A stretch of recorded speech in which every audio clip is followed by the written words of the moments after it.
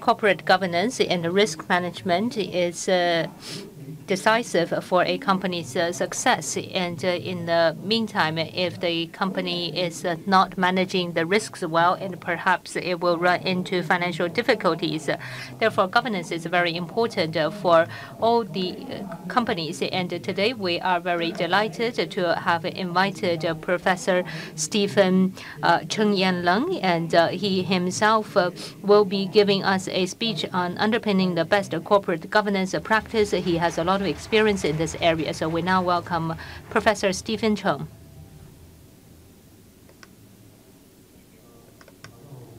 Thank you. Good afternoon.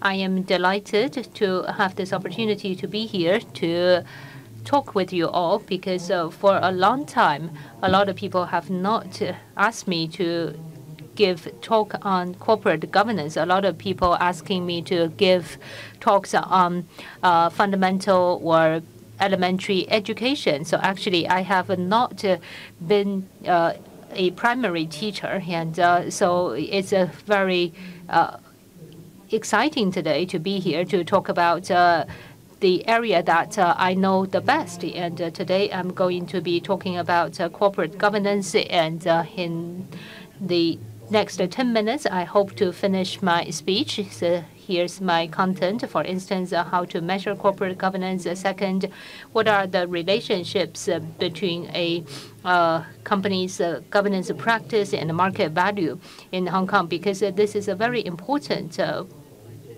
factor for any corporate governance. If we want to do well, we need resources. for instance, for the management team we need to help the board to run this well. And in addition to make reportings, we also need to have resources.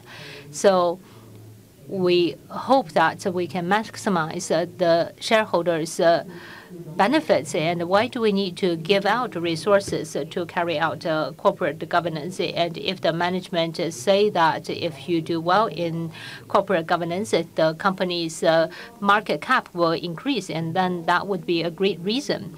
And thirdly, to look at relationships. For instance, if a company's uh, valuation, if it's improving, so during this period, will this uh, value with the changes of uh, the company's behaviors also change? And what are the relationships between incremental corporate governance practice and market value in Hong Kong? And in addition, do we have any other measurements or indicators? Number five, uh, we all talk about ESG. So in the past, we talk about CSR. So if the company has a good CSR, we would see that uh, for the market or for the investors, this is something that everybody cares about. And finally, so what are the other things we can do well in? And in terms of uh, corporate governance, if you Google, there are many different definitions. And what's more important is about how to set up a system. So within this uh, system, for the management or for the board and uh, regulators, uh, in terms of corporate governance, they would have a mechanism. And in addition, in terms of the stakeholders, they will also bring some benefits. If you have read about uh, corporate finance, you will know that. so we need to maximize shareholders' benefits. But if you read about this in detail, there is a second sentence, which is to balance the benefits of different uh, stakeholders. But for the professors, generally speaking, they will not uh, talk about the second sentence. Rather, they will focus on the first sentence about maximization of uh, the benefits uh, for the stakeholders. And uh, we believe that if there are good uh, corporate governance practices, the company's value will also increase. So if you think about this, if your company governance is very good, will the market actually punish you for your company's uh, value? Of course not. In Hong Kong, we also have a certain listing rules and regulations, etc. I myself, in terms of corporate governance. So some of the different uh, areas, uh, and we can see that uh, these can be measured. And for instance, for the different shareholders, their rights, in addition, in terms of their supply and demand and uh, the views of the employees and the transparency of the board, etc. So these are quite standardized. However, in terms of best practice, sometimes uh, with the changes in the market, it also evolves. For instance, we see a ball uh, keep rolling in front of us, and if the disclosure is better from a company, this will help to build a better governance mechanism. So later on, we will also talk about the situation in Hong Kong. Hong Kong, for a long time, I guess about uh, 10 to 20 years ago,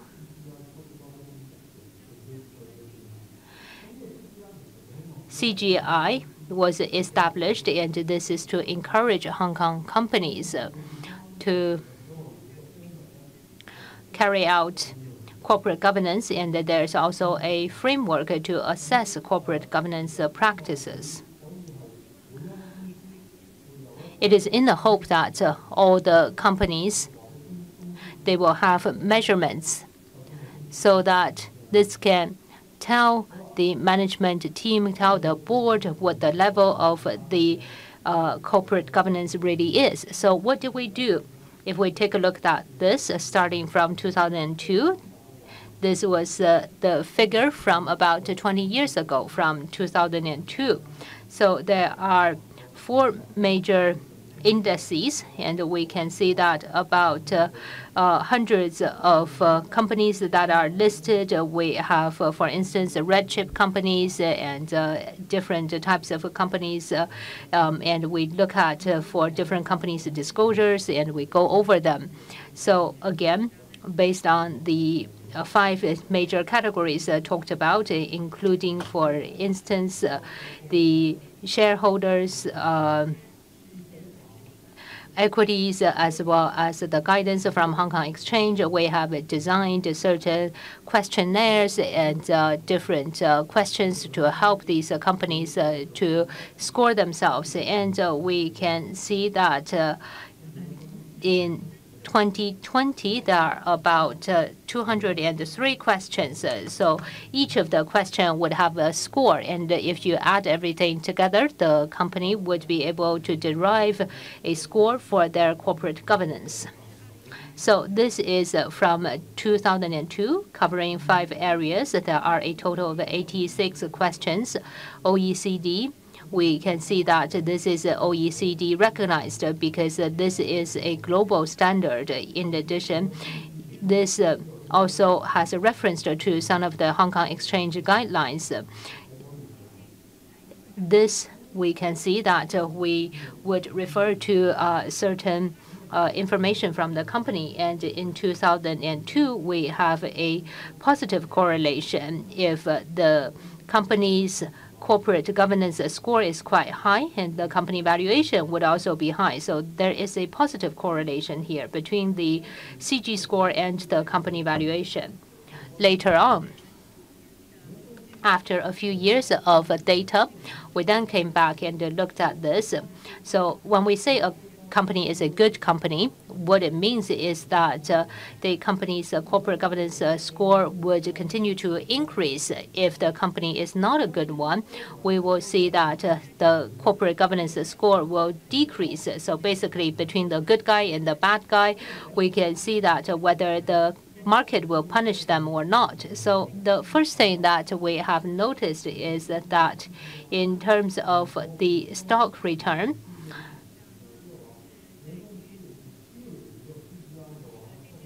basically, it is actually not that sensitive to CGI, but if it is a good company, and in terms of the uh, reward is not very obvious, but if your CGI is low, then the, the market will actually punish this company. In addition, we also see that for some companies, that they are doing even worse. And for the companies that are doing okay, they are doing well, the market will actually reward them. So the market felt that this was very effective, this was very good. So in a market that uh, if all of a sudden a good company turns into a bad one, then the and then the market reaction would be very obvious. So these are some of the findings that we have discovered. What about the other countries? We then also used this measurement, for instance, to mainland China. Um, Thailand, Philippines, Indonesia, uh, etc. So we can see that in certain areas uh, the correlation is uh, very obvious. That is to say that uh, uh, sometimes it's a positive correlation, sometimes it is uh, not a positive correlation. Apart from the OECD's measurement. In addition, we also have some other corporate governance measurements. For instance, from Credit Lyonnais Securities, and we had adopted some of their uh, guidance and principles. So now let's take a look at uh, the CSR and are they actually the same for different companies? And the answer is no. So basically, in terms of a company's uh, CSR, will the market actually value this, and uh, will there be any responses? And uh, again, let's adopt this Credit Lyonnais Securities method. And if we take a look at the companies in Asia, if they have a good CSR, and the market valuation would also be high especially for a company if their CSR is very good and for the next year Uh, we can see that their market value for the following year will also increase. So CSR, in a way, is uh, predictive about how the company's value will do for the next year. And again, for these uh, Asian companies, through improving their CSR, they would be rewarded by the market. Previously, we have an issue of the sample being too small. For instance, from Credit Lyonnais, and uh, they were focusing on uh, big companies, not small companies. So the conclusions would only apply to big companies. In terms of uh, some of the other companies, and in the past few years, some of the interesting uh, findings and the papers, uh, if there are some related transactions, connected transactions. So for investors, do not invest a lot of, do not invest in a lot of these connected party transactions. If yes, you will encounter a lot of difficult issues. And the second, which is buy high and sell low. But of course, uh, when we make investment, we want to buy low and sell high. So what is this buy high and sell low? So basically, in terms of the connected uh, party transactions, uh, a lot of the times we see that what they do is to buy high and sell low in terms of asset transfer. And uh, thirdly, we look at these companies, look at their board, and it's uh, similar to as if uh, hosting a family meeting. So the board is basically family members, and how does the market view this? In terms of the market, sometimes they will have a discount on these companies' values. And for some of the good companies in terms of their governance, the current governance environment has changed. And for these companies' environment, we have also seen them changing. These companies, they continue to adjust their environment and to uh, adapt to the external environment. And now we see that uh, CSR is very important. Also, dynamic, uh, also climate change is very important. As we have heard that. Uh, what has been said earlier, if we do nothing, uh, we will end up with uh, no food and uh, end up in a dire situation. In 2050, the Hong Kong SAR government has announced that Hong Kong will strive to become carbon neutral how do we achieve uh, carbon neutrality? So we had set out the goals, but how do we really provide different services? Uh, we really need to align the strategies with the goals. Uh, and for instance, especially with the listed companies. For instance, how do we make sure that carbon emission and for the climate risks, how do you make sure that is part of your corporate strategy? So the strategic objective of the company is important. So walk your talk. Now, this is a stakeholder-oriented corporate governance goal.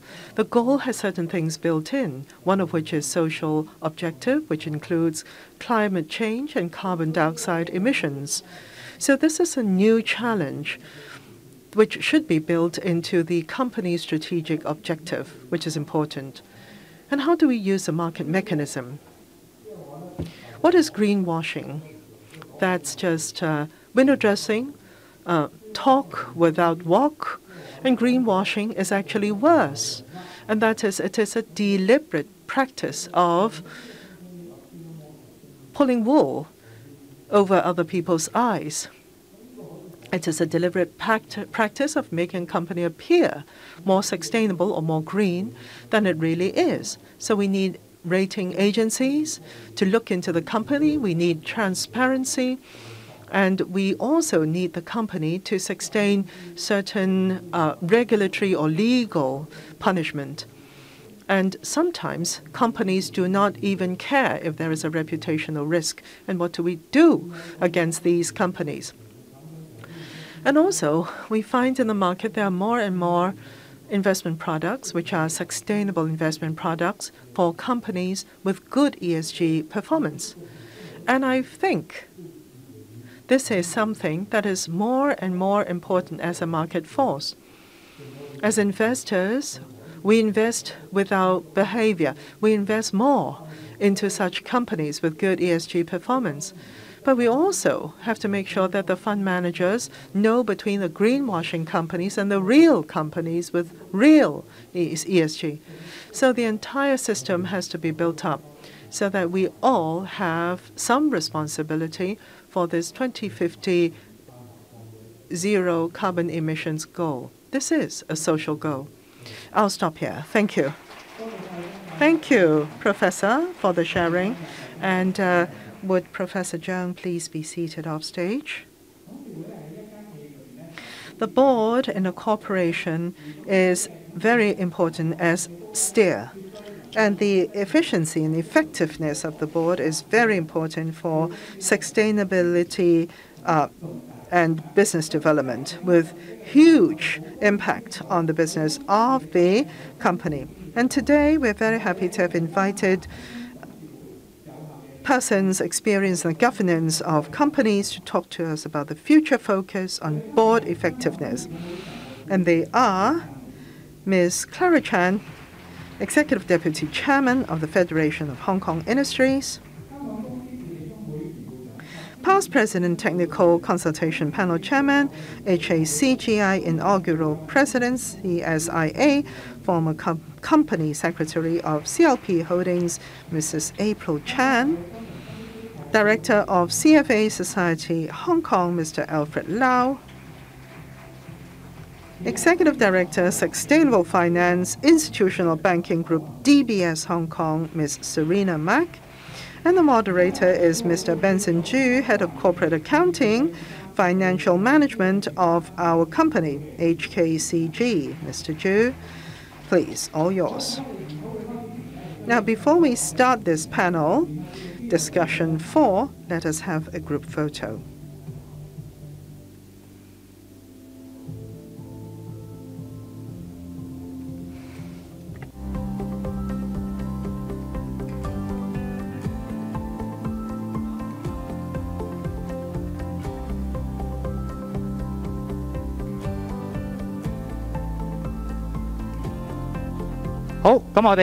All right, Mr. Ju. And please be seated, speakers. Hey, good afternoon, everyone. This is the final panel discussion. Well, actually, Professor Stephen Jung had already covered everything we wanted to say in this particular session. And our topic this session is a future focus on board effectiveness. As Mr. Wong, Stephen Wong, had said, if we want to have any effectiveness in the corporation, we need the board um, steering and support. All right. I would like to hear from our speakers. The board, with all that work in front of them, and ESG is multivariate and complicated. Does the board have enough expertise and time to discharge its duty in ESG well, whether it is listed companies or corporations? The effectiveness of the board, how do you assess that? And how do we actually have effective assessment of board effectiveness? Clara?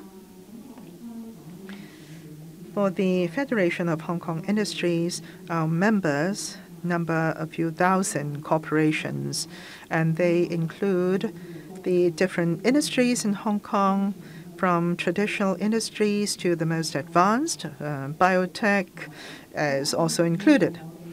So, for our membership, the portfolio is very wide. There are listed companies, non-listed companies, as well as SMEs. When we talk about board effectiveness, of course, for listed companies, there are regulatory requirements, and also there needs to be certain monitoring and regulation of the boards and certain requirements on them. Now, the board existence, is it important? Our observation is that not necessarily we need a regulatory body overseeing the effectiveness of the board, but rather as SMEs or in the Hong Kong industrial sector, we have a lot of um, external party responsibilities. For example, our clients. In their uh, transaction with us, they not only look at our service or our products, very often they look at our structure as well to see whether we have a complete structure, because this is also one of the counterparty risks. Now let's talk about ESG. For listed companies, of course, we have the responsibility to discharge our ESG reporting. It's required by the regulators. But very often I say for ESG, it is not just to be done by a single department of the corporation or by one supply chain, but it must be mobilized across a corporation. And to mobilize a corporation, you need the board's role. And in measuring against targets, it has to come from top down and it has to be company wide. So for SMEs, for example, this is also important because it affects whether the SME can maintain its competitiveness. When we talk about um, corporations and uh, their buyers, uh, if they're US or European buyers or even from the mainland. Uh, a lot of guest speakers have said that in the market, the ESG concept and ESG requirement is already very prevalent among these markets. It's not something optional, but it's mandatory, and it will affect the competitiveness of the corporations concerned. April? In assessing board effectiveness, what are some of the issues or difficulties that you have met with, and what are the resolutions? Well, thank you, Benson. It is true, assessing board effectiveness, I can tell you of the 10 listed company um, company secretaries, if they are to tell the board that they are to be assessed, the first reply would be, "We've done our best already.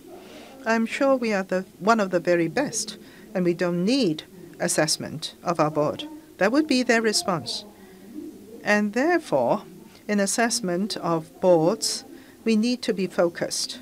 We have to focus on what's in front of us, the future. The future trend of the world is no longer about assessment of the board, but rather it's board evaluation called board progression planning. That makes it all more positive and the board members would find it more acceptable.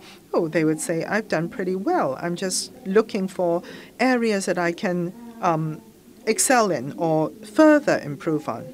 So, in the board assessment in Hong Kong, well, actually, we are in an early stage, I would say, and it is uh, whether it be pro progression planning or evaluation, whatever you call it, you have to look at the board, whether it is effective. And we look at two major dimensions in that. First of all, corporate governance. How is it faring? Secondly, in strategy, as mentioned by the two speakers just now, they talked about the strategy. The strategy has to be fit the business. For example, in ESG, the ESG issues have to be integrated into the strategy so as to implement the company's objectives, how to create value for the um, stakeholders and meet the expectations of the stakeholders. So, with my board evaluation experience in the past at CLP, now I've already retired, but during my tenure at CLP, I'm talking about. At CLP, we were one of the very earliest companies in Hong Kong to have adopted board evaluation. We're now doing board progression planning. It was 11 years ago when we first started this. In Hong Kong at the time, there were only three listed companies which did board effectiveness evaluation. The others were Hong Kong Bank and the Stock Exchange of Hong Kong. For board evaluation, first of all, you have to convince the board, and that's difficult enough. And before that, you have to convince your own senior management. Otherwise, the CEO, in facing the chairman, will get scolded. Now, if you can convince them, then you have to consider do I do an internal or an external evaluation? If internal, then the directors will find it more easy to accept. Usually, the company secretary will have a set of questions sent to the directors, and they can uh, fill it in, and then they can comment on how effective the board was. But from the start at CLP, we decided it should be externally done because only then will we have credibility. And therefore, we had to find an independent party. And at the time, in Hong Kong, there were very few external parties doing this kind of work. And the report from this external party in the past it would not be like uh, auditors. You know, they would have an auditor's report after auditing the financial statements to say it's a true and fair view, and the stake shareholders would be assured. But for board evaluation, there was no report from that work, and there was no assurance for the shareholders. And so when we introduce this, and when we decided to do external assessment, we were the first company, I was told by the board evaluation consultant, that we were the first company, to their knowledge, in the world asking for board evaluation result to be published. And the board evaluation consultant needed to issue a report, much like the auditor's report, to confirm that our board practices and processes comply with corporate governance, and also there are no big issues existing. So at that time, we were really advanced. And after that, a lot of listed companies I saw follow suit. So if you look at the process of board evaluation, what did it in include? One, the composition of the board, the structure of the board, directors, whether they're independent, whether they have specified terms of appointment, and also the committees, the structure, what are they like, and do they have appropriate delegation of authority and meetings? Do they have discussion, real discussions? And the directors, do they have sufficient time to look at the company because we know in the past there was a very uh, famous LegCo member, and he sat on 13 boards of listed companies. How can he have sufficient time dedicated to the company? So the stock exchange has a new rule. If you are on seven boards or above, you will have to explain to the shareholders that you do have the requisite time. So when you look at the boards, you also have to see whether the directors have enough time to help with the company, whether their experience is relevant, many, many areas. All right. Okay, we need to find the same concept and propose it to the board. This is also quite difficult. To have the word bravery in your heart will do, and uh, sometimes maybe only tell about the good news and hide the bad news. So perhaps uh, are there situations that uh, sometimes you only invite certain people and not the others? But first of all, you need to be clear that uh, you need to persuade the board. You need to persuade that the others they are willing to write the report for you. And in addition, you also need to be confident. Secondly,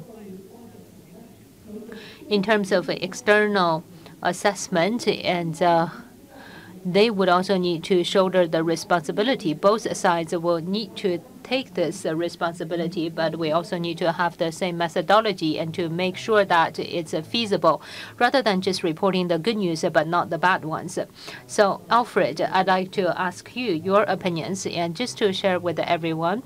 I am here today representing companies. And uh, earlier, Professor Cheung has uh, talked about, for instance, good corporate governance can create market value, can help with uh, the stock price going up. And today, I have also heard that uh, a lot of uh, unlisted companies uh, they are also here today to listen to this event. And for instance, from a an investor's perspective, when the company is doing well, and what price are we willing to pay for this company? Are we willing to pay for a high price? And we need to look at it from an investor's perspective, put ourselves in their shoes. For instance, to evaluate whether the board is doing a good job or not, and investors' um, comments or views are a good way to help us understand this. If the company is doing well, for instance, how do we uh, need to make judgment about how to do it even better? If we need to have some good feedback from the investors, and there are three parts that we need to look at. The first one is transparency. Second is about the board's um, rights and thirdly is about the shareholders' rights. And I'd like to share with you about a an experience that I have had. And uh, for instance, uh, um, if this is a manufacturing process and uh, for instance they want to reduce their carbon emission and in terms of uh, transparency apart from having scope 1 2 3 would it be possible for instance uh, to give for instance, uh, some carbon emission uh, reduction targets. And if you have this, investors can see the process more clearly.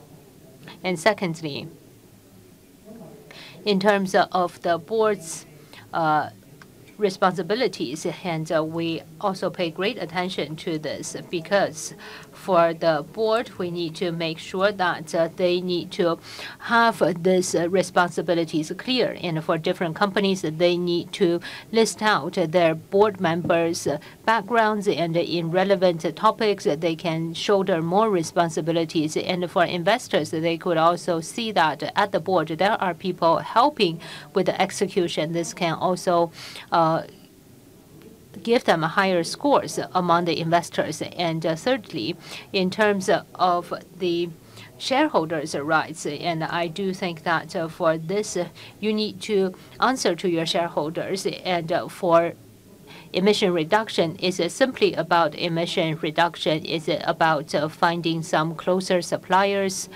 But we also need to go deeper in terms of the long-term rights and benefits of the shareholders. For instance, how do we carry out allocations and in terms of the efficiencies, etc. These all need to be improved. And we also hope that we can have more communication with the shareholders to give them higher expectations. And for investors, they also need to carry out analysis. A lot of times, perhaps our goals would need to take a few years to realize. And we talked about uh, carbon emission reductions, and perhaps this would not affect the profitability, but investors, they will look for some leading KPIs. You would need to tell them what the role is. In addition, they would also need to find some more effective indicators. And for instance, the inventory uh, days, would that be shortened? For instance, when the market is getting better, you can get your inventory even faster? And uh, would you be able to grow more in the market and to give more flexibility and indicators uh, to the investors? You can also help them to understand and see that these policies have been implemented. Okay. Serena, can you please uh, share with us? Yes, thank you. Thank you, Towngas, for inviting me. I have heard a lot of uh, the other speakers that they have said what I wanted to say.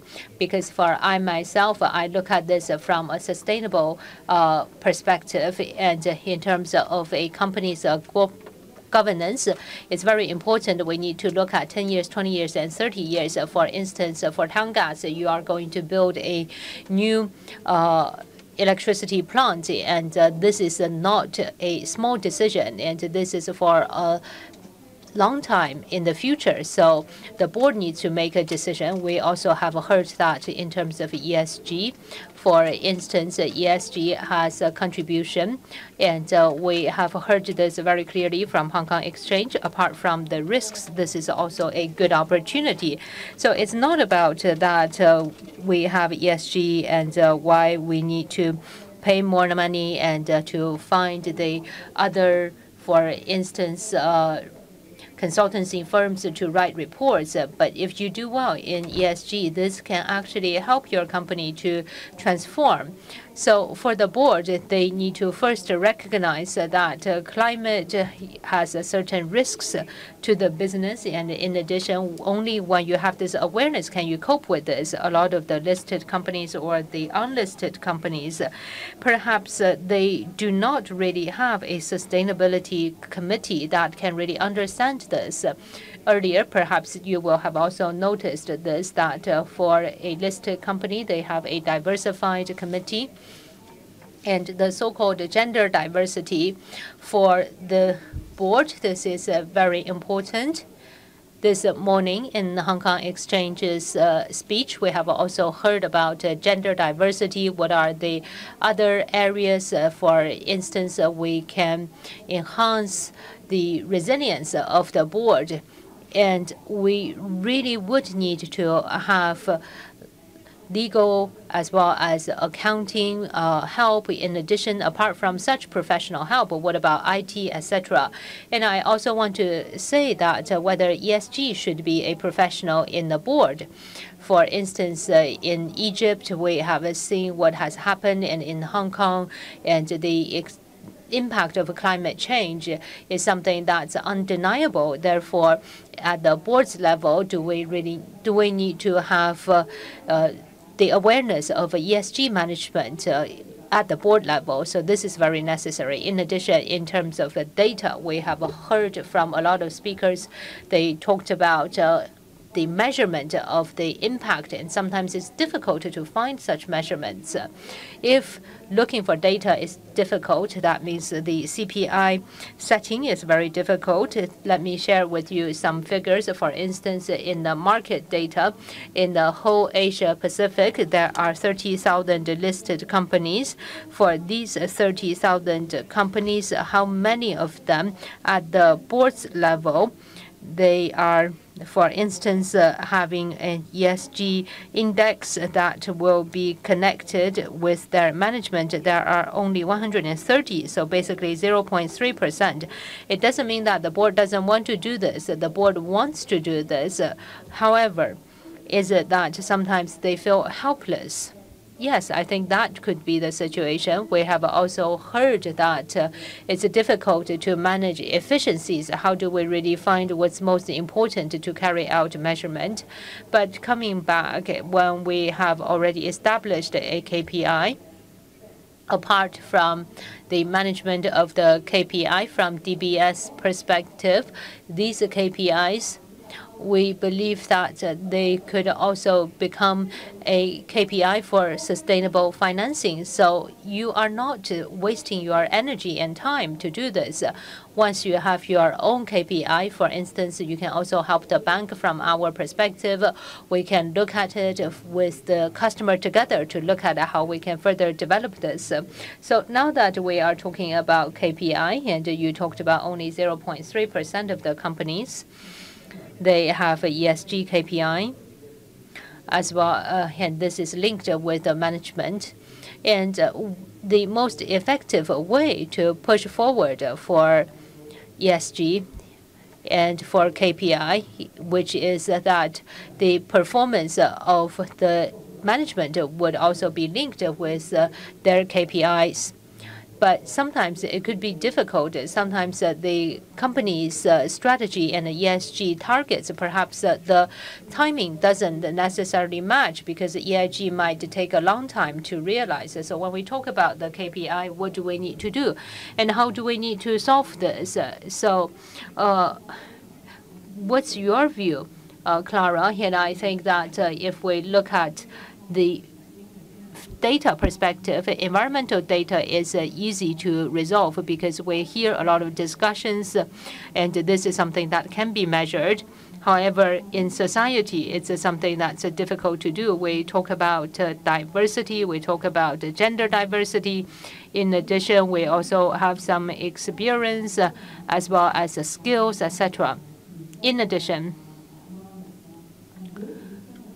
for instance, in terms of the health of employees and uh, we can see that we talk about uh, safety of industries. And we have, yes, indeed, seen that a lot of the manufacturing companies and manufacturing facilities, in terms of the employees' safety, they definitely have indicators. I don't think that any company will tell us that they do not have such a KPI for their managers in terms of, for instance, uh, how many employees have been hurt, etc. So I'm sure that they all have such KPIs. And from this level, we can see that there are already some KPIs. And for these KPIs, can they really be translated into the board and whether the board members uh, could do something about this. If we take a look at this, I myself am also learning in terms of operation. We see that they are being deployed, being used, and from a board's perspective, whether this need to be interlinked with their KPIs. The whole industry is learning about this. And for the large-scale companies, of course, they have better ESG resources and uh, uh, better talents. So we'll talk about this later. For SMEs, it is not necessarily that they are zero. It's not necessarily that they haven't started this yet. It's simply that they are at different stages on different levels. For instance, uh, for E, for environment, for some of uh, these uh, companies, uh, when they establish a factory, they will, of course, listen to the local carbon emission regulations as well as laws and environmental protection regulations. It's just that companies are at different stages. So, April, can you share with us some of your views? Yes, thank you, Benson. So actually, there are two parts of this question. First of all, we need to look at whether salaries should be linked with the ESG. For ESG, it's something that we can look at for the board's salaries, and secondly, for the management's salaries. And basically, there are quite a big difference here. You cannot use the same mechanism to decide their salaries because for these directors, they do not run their companies on a daily basis, and for the management, they are responsible for these uh, performance, even if uh, that they are also responsible by the board. If we look at this by two perspectives, and first of all, for these management uh, team, and generally speaking, in terms of their salaries, apart from a set of KPIs that's set out for them, they can also be linked to ESG. For environment, as Clara has said, it would depend on this company's business. If it is a bank or if it is a, an electricity company and a power company, and of course there are different uh, KPIs. And for a, for instance, a bank company or a trading company, um, and in terms of their data, their environmental data, perhaps there isn't a lot. So how do we find the appropriate environmental KPI? There are many different perspectives, and even if at the moment Hong Kong Exchange has a lot of suggestions, but for international sustainability, sustainability development goals, there are 17 of them, and each of them will have a number of KPIs, and you can choose among them. Even though you have chosen among them, how do you measure them? Because at the end of the day, you give me whatever remuneration and you give me incentives linked to these indices, but that can be very controversial. How do you measure? Because at present there are no international standards, unlike auditing, accounting, which is already very mature in standardization. And for International Sustainability Standard Board, that had already been set up, and they are developing different sustainability standards. And this is something in the future. At present, for individuals, to peg to these indices is hard. It's just hard. So you have to look at the entire corporate. Instead of individual KPI goals, you say as a corporate overall, these are our ESG achievables, and this is a corporate goal, and we have to live up to certain indices. And then these indices will be applied to the individuals. So that's one way forward. As for directors, of course, ESG is very important to them, and it fits into all that your board is doing, all your agenda. And you have to cover environmental risks in everything, social responsibility and governance, how you're faring there. And this is going to be reflected in the year-end performance. But after all, as I pointed out just now, the directors are not managing the company day to day. They have set these directions, and management will implement them. So, in assessing the directors, their remuneration, you can have some ESG measures included in them. But after all, it is about the directors in participating in the company, the complexity and scale of the company of the company and the business. For example, the business is a, let's say, a power generation company or a bank. For the former, there will be more ESG um, related factors and more complex too. So, how much are you going to pay in terms of remuneration to the directors depends also on the scale and complexity of the business. And secondly, the workload. Do you have monthly board meetings? Or is it once every three times or half a year, and some actually do not have board meetings, um, you know, until a year has elapsed. And what about the responsibilities? Does the individual director chair a lot of committees?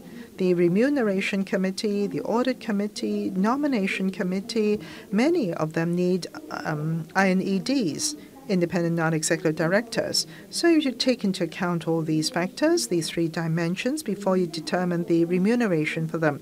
And then benchmark against same industry to see whether this is a reasonable level.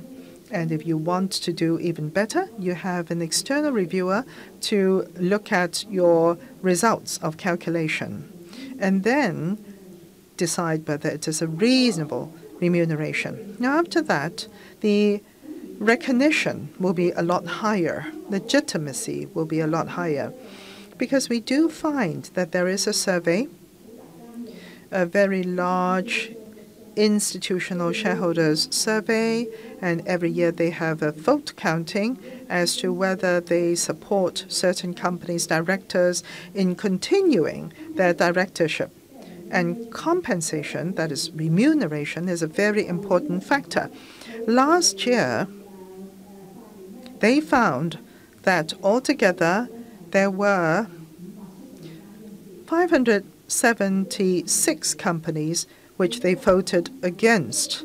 And that is to say, if the components in the compensation or the resultant number of compensation, if it doesn't fit or live up to the investors' expectations, then the institution and investors or shareholders will not support the company. So that's very important.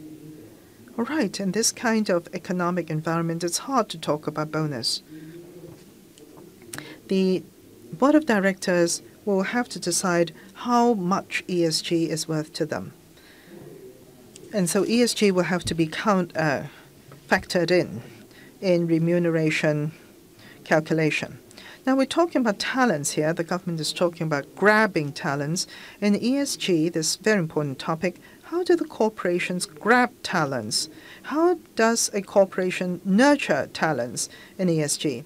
Now, I heard that there is or there are ESG professionals and talents. How do we get them? How do we nurture them?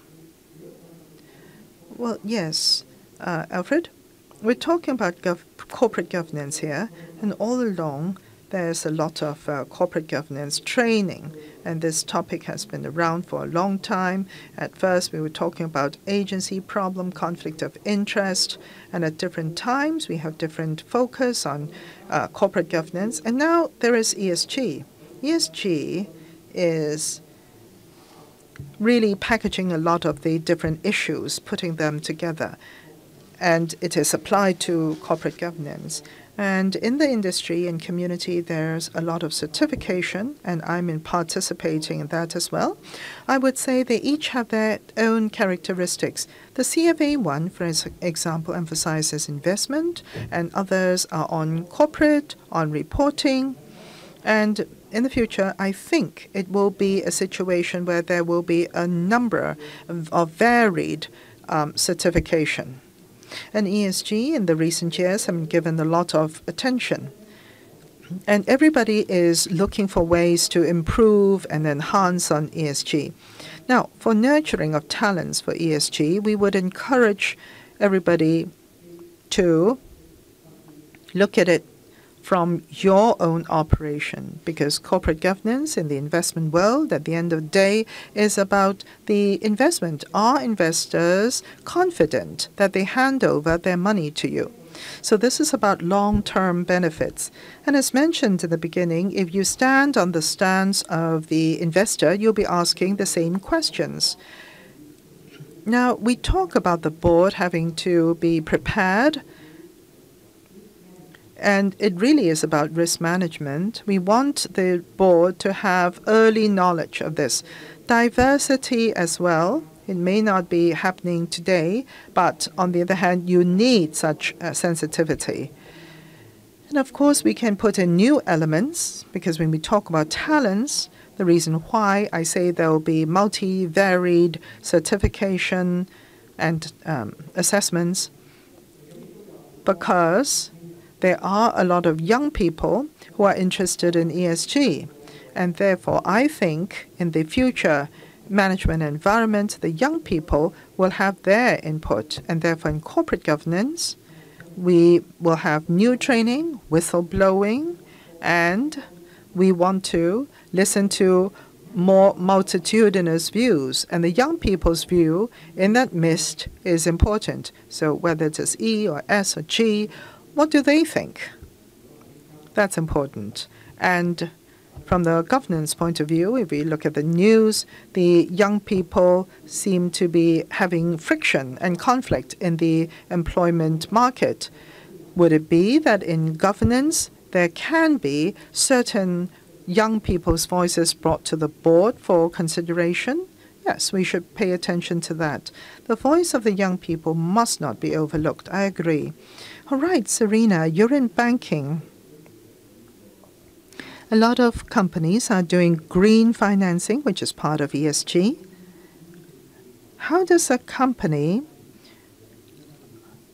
handle nurturing of talents to help the companies do green financing? Now, what Alfred said just now was very true. There's a new paradigm. There's another point which I want to raise, and this, that is ESG is not a standalone concept because ESG actually just talks about for the corporation what is important from environment, social, and governance point of view. So for a corporation, whether it is accounting, legal, PR, or manufacturing, engineering, everything can be included into ESG. So apart from the newly joined, who are young people who are taking ESG courses, but also within the industries, there should be professionals who are trained, young people trained or people trained within the industry to very effectively put the industry and ESG together so that they know in their work position and their corporation how they can apply ESG concepts. Now, this can be very wide ranging. Talents would include accountants, lawyers, etc. And during lunch, at the same table, we were talking about, hey, environmental or ESG, it, if there should be any problems coming out from there, it is a PR crisis. So first of all, you have to understand that it can be potentially a crisis, and your frontline people would think perhaps it is not a big thing, and they're not aware that it is a big issue. So from the bottom to the top, this understanding is important. And secondly, how do we know that we how to train the people? And as mentioned, it is multivarious. There are many, many sustainability-related courses. The Hong Kong MA offers sustainability-related courses. There's CFA and also the European ESG Analyst Program, etc. The Hong Kong government has a repository. The Hong Kong MA has a green sustainable finance training and in there, there are certain international certification, local certification courses which you can um, enroll in to upskill yourselves. But of course, when we're talking about government funding to help everybody join force, that would be even better. Right, ESG. I think it is more a culture, wouldn't you say? It's a corporate culture. It's not about a team or an individual um, completing all the work, but the different positions in the company should all come together. Now, Clara, in a corporation, if we are to nurture this kind of culture and the people, what do we do? Well, this is about the corporate as a whole. First, there has to be commitment. This is most important because everything we do if we have commitment and we know how the commitment can be um, propagated in the entire company. We're talking about education, really, and transparency. All that is important. And especially for ESG, it is a relatively new topic. And a number of speakers have said this is not a standalone topic. And I myself think that for ESG, it is a common knowledge subject. All the relevant subjects in the future should have ESG concept in it. Because, as we said just now, if the company is to be run well, if Hong Kong is to run well, all the industries will have to be run well. The supply chain at different notes of it, everybody is working hard towards the same target. E is about carbon mostly, and at every point and node, you have to calculate the carbon emission and how to reduce carbon. For S, risk management is important. At different uh, departments of the corporation, you have to think about climate risk, energy risk, cybersecurity risk, and there are a number of realms there. And also, we talked about greenwashing just now. For greenwashing, in the data transparency, this is about technology, how technology is to be employed. Perhaps we should use blockchain technology. And there should be a number of different departments. In fact, every colleague need to be participating. So for the corporate, as for our own company, for instance, the top management had to do a huge lot of work so that the entire path is clear, our commitment from top down is clear, and there are many, many different workshops so that the um, colleagues will have an understanding of the functions and how they relate to their own terms of reference and the work of the departments. And we're doing all that. April, April, can you please share with us? Yes, no problem. Well, I really agree with our speakers, Clara, Alfred, and Serena, because the talents participating in ESG is very important, whether it is in universities or for internal and external trainings.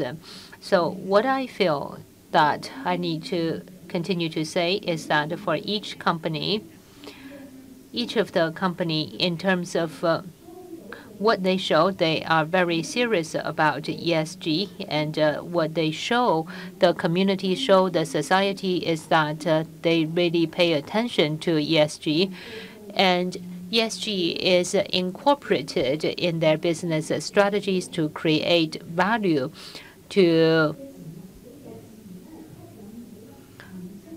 make sure that ESG can be fully incorporated and this can attract young people. So for those people who are interested in ESG, they can then uh, join and work for these companies, and they will also realize that it's not simply just about ticking the box. So a lot of the times uh, that if you are simply ticking the box, there's no real future. All the employers need to participate in this together and to really show this side to the young people. And I think that Clara has said this very well. ESG is a, a corporate culture. So how do you make the staff feel that uh, this is something that uh, you are taking this seriously, whether it is a E or S or G, to really show that uh, you really care about this uh, in terms of uh, what you need to do. And uh, for instance, for environment, very simply, for instance, some of the waste paper, can they be recycled? Not only you as a boss, and uh, every morning you go to work and uh, say that print out all the emails, I will be dealing with this, but we see this. But then your secretaries and your staff will feel that the boss doesn't really care about saving paper. So they will also go and print everything they want to. What we need to do is that in terms of the environment uh, KPI, for instance, recycling of uh, paper, in terms of uh, saving electricity. If I'm leaving this room, I will turn off the light or turn off the computer when it's not being used um, or have um, automatic switching off mechanisms. So you need to show this uh, to your employees. You need to actively establish and find volunteers to do this. Earlier, we have heard from Melissa how do we really drive our employees uh, to participate, uh, not simply just talking the talk, but also walking the walk. In terms of social governance, we can also see that when we are conducting procurement, we need to see that it really needs to go through some internal process rather than just simply decided by one person. We need to be exemplary and to make sure that the people can feel this and this culture is really being promoted from top down. Okay, that's a great way to wrap up, and uh, we do not have much time left. I would like to uh, advertise a little bit, and uh, for uh, Hong Kong CG, we have seen that. Uh, ESG culture is at the core of uh, Hong Kong CG. We hope that uh, going forward there will be more opportunities for us uh, to discuss with you all regarding uh, ESG. And thank you again for your excellent sharing. Uh, our panelists, please be seated. We have already heard from so many speakers to talk to us about uh, social as well as environmental and uh, governance on their views, and we are very delighted to see the active participation. Apart from our live streaming, we also have Facebook and YouTube. We have seen that for this whole day. We have over 5,000 people participating in our event today. Again, I would like to thank everyone for your active participation. We now have come to the final session. We welcome Mr. John Ho, Executive Director, CFO, and Company Secretary of Hong Kong CG, to give us the closing remarks. Dear guests, dear friends, at the outset, on behalf of Hong Kong CG, on behalf of Towngas Smart Energy, I would like to thank you all. I would like to thank all the guests for your participation, thank all the audience online for tuning in. I would also like to thank our sponsors. Without their support, I believe that we wouldn't have such a wonderful event today. So thank you all. For our event, and I can only use one word to describe it, which is wonderful. I really feel that this has been a great day. There is a lot of great insights being exchanged, and it has been very inspiring, enlightening, and it is very practical as well. It's not simply talking about these high level principles or ideas, but it's more about people talking from the bottom of their heart. I have benefited greatly. I have participated in a lot of ESG summits, uh, and I'm not simply blowing our own trumpet, but I really felt that I have learned quite a lot in today's symposium. I believe that you all feel the same.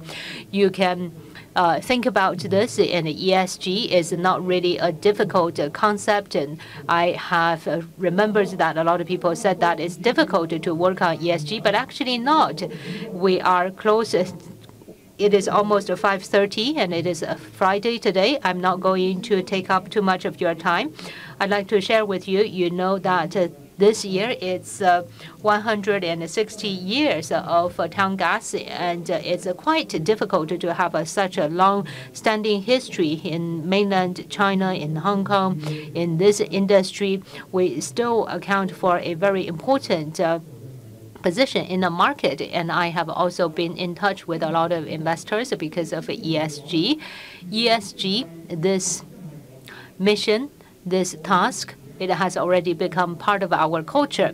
We have heard from our colleagues. He has been with us for six months. He has not just recently joined.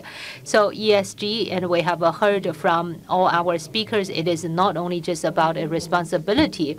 We feel that it is an obligation, ESG, for our stakeholders. It is an obligation. But of course, for ESG, these three scopes is very wide for environment, for social, for governance and for our uh, stakeholders, regulators, investors, uh, our shareholders, uh, for everyone. We are responsible for this. We have this responsibility to tell them that we need to do well in ESG.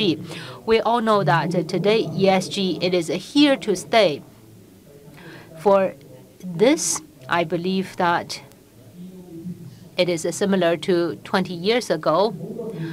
And when we talked about digitalization, when we talked about uh, innovation and the disruption of the internet, and it is the same as uh, those uh, innovations 20 years ago. It is here to stay, and it will bring us great innovations and great opportunities.